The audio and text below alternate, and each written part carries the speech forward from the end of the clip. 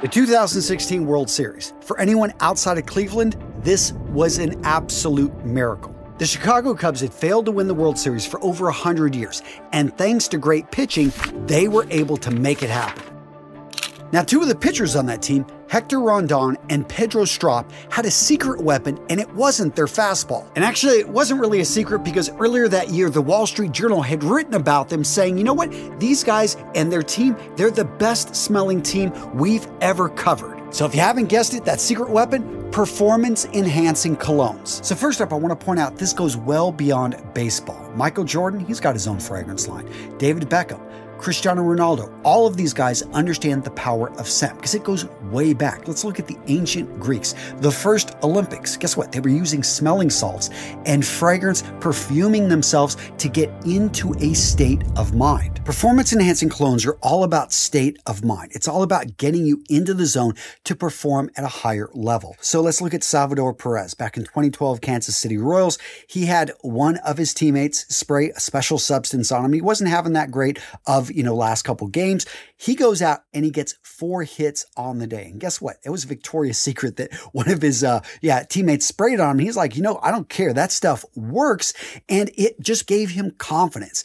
And he contributed and actually never looked back, picked up a number of fragrances, which I'll talk about at the end of this video. And uh, Kansas City went on to win the 2015 World Series. And some guys take it to an extreme. Francisco Lindor of the Mets, this guy apparently has like a dozen fragrances that he takes with him. He's got pretty much, he chooses through them. Sometimes he'll layer up, wear multiple fragrances at the same time, depending on how he's feeling. In fact, I was reading some guy over on Reddit saying, Hey, I was there for a promotional deal. We're getting a pre-game walk around and we go by the visitor dugout and Lindor walks by and I'm like, oh my gosh, definitely. I mean, he smelled great, but you could smell this guy, you know, like 10 feet away. And Lindor pretty much confirmed this when he talked about, hey, I like to talk about fragrances even, you know, what during the game. Sometimes we talk about how he smells, whether cologne he's got on. Uh so apparently, they're on first base. These guys will be shooting the shit, talking about stuff, and uh, somehow fragrances come up, and these guys are, yeah, just sharing information about what they're wearing. And what I find most interesting is how these things get started. So Strop's talking about how, how did he start wearing fragrances? A lot of people think, oh, he's Latin. He just wore this. Apparently not. Uh, he was actually in the minor leagues, and there was this other minor league player named Esteban Germán. And uh, apparently Strop looked up to him, and he's noticing that the guy is putting on fragrance before going out there and playing baseball. And he's like, why are you going to do that, man? You're just going to smell. I mean, we're going to be sweating. And Germán stops him and says, yeah, I'm going to smell, but I want to smell good. And personally, I love that mentality because most guys, when it comes to smell, they play defense. You wear deodorant. You don't want to smell bad. But if you could smell good and you can set an impression, if you can be remembered, I mean, that's, that's pretty cool, right? And Manny Machado with the Padres was talking about this. You got to smell good to play good. But specifically, he said, when I hit a home run, I want them to smell me running around those bases. I want them to remember me. Oh, and my wife loves the way I smell too. And perhaps David Ortiz summed it up when asked about smell and his fragrance during the 2013 World Series win by the Boston Red Sox. He said, you know what? It's the good luck smell. Now, I know there's a lot of skeptics out there to San Antonio. Again, this is a bunch of snake oil, a bunch of bullshit, a bunch of malarkey, and I can definitely see where you're coming from. That's why I, down in the description of today's video, I'm linking over to tons of studies that actually break this stuff out. And if you believe, I'm not talking aromatherapy here where you smell something and it's going to cure cancer. That, that's a bunch of BS. That's dangerous. What I'm talking about here, though, is scent conditioning. And this happens all the time, oftentimes, though, by accident. Think about with coffee. Whenever people smell coffee, before it enters their bloodstream, you know, the, the caffeine, their blood vessels are already constricting when they smell it. The effect, they've conditioned themselves to behave in a certain way based off of the scent. Now, specifically, how does fragrance, how does smell have such a primal, such a direct effect on the brain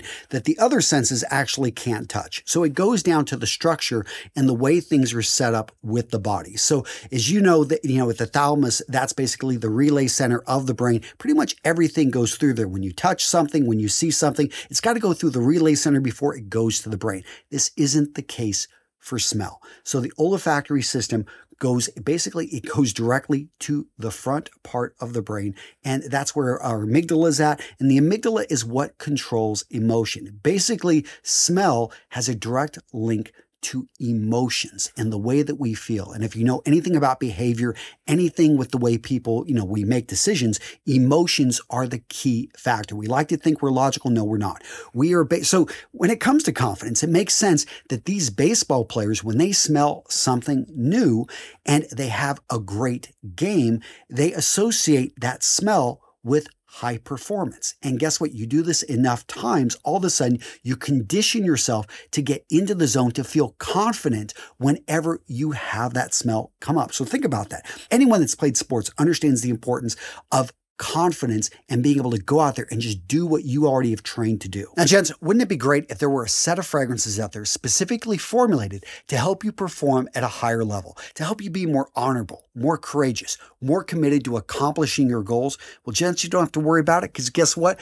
I have done it over at Mission Fragrances. Wasn't that a smooth like transition right in? Guys, this set I am so proud of because it's a passion project. Over the years, I have found tons and tons of data, information that talked about the power of scent. Personally, I've bought almost 500 fragrances and it's just blown me away how they make me feel. But I realize the average person doesn't need to spend that much money, you know, just crazy about fragrances like I am, but you still want the performance enhancing benefits that come with understanding the power of smell. And that's exactly what we've put together at Mission Fragrances. Guys, I'm linking down in the description of today's video. If you just want to learn more, go over to the Mission Fragrance website and you'll get a lot more information. But what's cool about these is they have an entire course that goes with them that teaches you how to use them. I mean, think about it. If you go out there and buy a jet, congratulations, you got a lot of money, but you get a jet, you can't do anything with it unless you know how to fly it. And that's why I've designed a course that teaches you exactly how to use these performance enhancing colognes. We go into the specific notes that are in each in honor, encourage, and commitment. Notice these are the core values of my United States Marine Corps. But guys, I did this because I wanted you guys to have a weapon. I wanted you to have a tool that can give you an edge over your competition, something that can help you get into the zone quickly and I'm really proud about what we're doing here because I, I think it really is a game changer. I haven't seen anyone really talk about this. I'm like, you know what? This product needs to exist. If you want to learn more, click on the link in the description. Go check out Mission Fragrances. All right, Jen. So now let's talk about the players and their favorite fragrances. So first up, we've got Salvador Perez. And yes, I know Victoria's Secret is what got him started, and he's actually rotated through quite a few fragrances, but Paco Rabanne's Invictus apparently is his go-to. Now, personally, I was not surprised that Paco Rabanne Invictus popped up on this list. I mean, just the shape of the bottle, they did a really great job uh, just instilling, hey, this is the fragrance of a champion. It's clean, it's clear, it actually has some great projection, but there's a lot of options out there because there's the original, which actually you can find at discounters and get a great deal on, but you're going to see Aqua that's harder to find. You're going to see Intense. I think that actually all of them are decent fragrances. I do feel they're a bit synthetic, but Paco Rabanne's in general are all going to be kind of like that, but they've got good projection and good longevity. Next up, we've got Yuli Gurriel. And what is he wearing? So apparently Antonio Banderas fragrances were his go-to. Now this started off whenever he, you know, he got started, he was in the minors, he didn't have a whole lot of money. He was also outside the United States and he just had limited options on the island. This makes a lot of sense. That being said, don't sleep on Antonio Banderas fragrances. I have quite a few of them, about 10 of them, and I think they're good.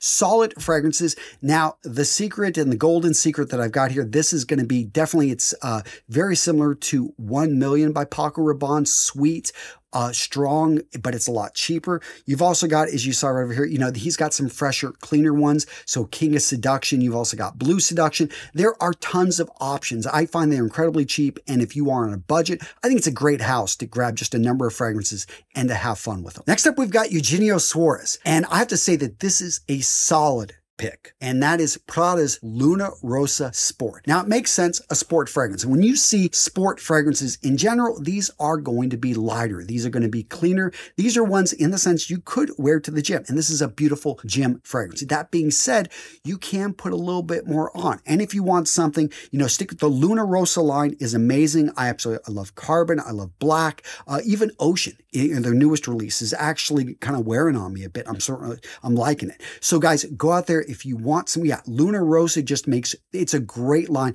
Prada in general, solid ingredients. Next up, we've got Nelson Cruz, and you're killing me here. He just said Tom Ford. Tom Ford has so many amazing fragrances. It's hard to go wrong, but Tom Ford fragrances are going to be more expensive. It makes sense. You're a baseball player with millions of dollars, and yeah, why not just get the entire Tom Ford line? But for those of you guys looking for some amazing options, I will let you know these are the ones I absolutely love. So Noir Extreme. This one, just a great option if you're starting off. Uh, I like it better than the original Noir. Let's also talk about Tobacco Vanilla and Oud wood. Now, tobacco vanilla is going to project. If you want someone to smell you 50 to 75 feet away, yeah, that's the one that you want to wear. And this, yeah, you got to have hair in chest to pull that off. Oud wood. This one is a modern classic. It's wrapped about. People just absolutely love it. I think it's a solid entry as well. Darker, richer, but closer. It's going to hold closer to you. Uh, but if you want something fresh, if you want something cleaner, definitely look at, uh, you know, Bois. That one right there. Uh, did I say that correctly? I think I did. Yeah. Bois yeah. You guys know my French is horrible. Point being is this is a classic clean barbershop fragrance. But if you want something fresh, clean, smells like, you know, you're on the Mediterranean in a pine forest, then look at Costa, Costa Azur, however you pronounce that one. Another beautiful fragrance. I know they just came out with a parfum version. With Tom Ford, what I've noticed about all of his higher concentrations is they just last a little bit longer, but I think you can find a better deal on the EDP. Now, Framber Valdez, he actually talked about a number of fragrances. Apparently, during practice, he likes to wear something tropical, something that maybe even has a coconut note with it. I didn't, I, there's a number of fragrances. I could guess what it is. Uh, he also said when he goes out though, he likes to wear something a bit more intense. I'm assuming because he did talk about Sauvage, Dior Sauvage. This one right here, it's one of the most popular fragrances out there. That being said, it is still a solid fragrance. You're going to find various versions of this. I've got the EDT right here, which is a great place to start, but the EDP, the Parfum, both of those are good. But if you want something that's dark, rich, and just is going to blow your mind, check out the Elixir. Now, Manny Machado, again, he had a lot of fragrances as well. Talked about, you know, Bleu de Chanel. He actually talked, he would change it every single year. Uh, Bleu de Chanel was a few years back. He had Prada, didn't specify which one, but uh, it sounds like Acqua di Parma Yuzu is his go-to fragrance. I saw this on a video recently and he just loves it. And that makes a lot of sense. Yuzu is one of those citrus notes. It's going to wake you up, make you feel more on point, but it also has great longevity. So uh, a solid fragrance. Actually, I've only gotten a sample of that one, but uh, I like that one as well. So Good choice. Let's not forget Hector Rondon of the Chicago Cubs. What did he wear during that World Series run? Well, apparently it was Sexual Paris by Michel Germain. And apparently Pedro Strop that year went through an entire bottle very quickly of 1 Million by Paco Rabanne and then jumped over to L'Homme by Yves Saint Laurent. I have to say, overall, those were some pretty good picks. And I'd love to hear from you guys down in the comments. What is your go-to fragrance? What's the one that you absolutely love? And what video watch next? Well, how about, boom, right here, how to apply a fragrance and make it last. So many times you buy a fragrance and it's gone within a matter of 30 minutes, a couple hours. In this video, I talk specifically, I break it out. It's the videos, the world's best video on how to make your fragrance last pretty much forever. It will, no, it's not going to last forever, but, but seriously, there's some great tips and tricks in here. Go check it out. Good video.